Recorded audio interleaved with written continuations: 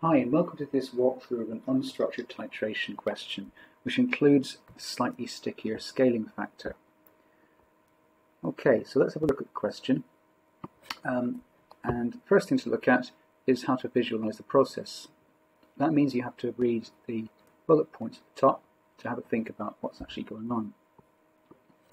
The student prepares a 250 centimeter cube solution from 1.513 grams of A. So you imagine that you've got a solid 1.513 uh, grams of A, and that's dissolved in deionized water. The exact amount of water isn't important because then that is transferred into a volumetric flask and made up to the mark with deionized water again.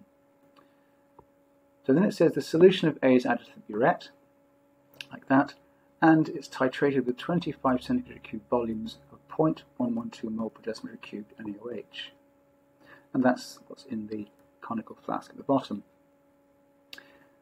And then it says that the student obtains a mean titer of 27.30 centimeters cubed. So what you've got to remember is the moles of A that are required uh, is only a proportion of the original sample. Because you're not going to use the whole burette um, full up, you're going to use a small amount of it. So, if we now think about how to do the calculation part, you use the data moles equation moles answer technique. And the first thing is to look at what you have enough information for to work out the moles. And that happens to be sodium hydroxide. So the volume is 25 centimeters cubed and the concentration is 0.112 moles per decimeter cubed. So using n equals c times v, you can work that out, making sure that you convert 25 centimeters cubed into decimeters cubed by dividing by 1000, and that gives you 2.8 times 10 to the minus 3 moles.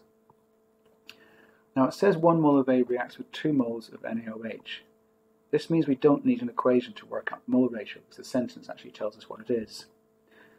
So therefore the number of moles of A is going to be half the number of moles of sodium hydroxide. So that's easy enough. You just divide 2.8 times 10 to the minus 3 by 2 and that gives you 1.4 times 10 to the minus 3. So the student obtains a mean titer of 27.30. So that means there's a scaling factor involved. So you take your moles of A and you multiply that by the scaling factor, that's how many times 27.30 goes into 250. And that gives us a calculator value.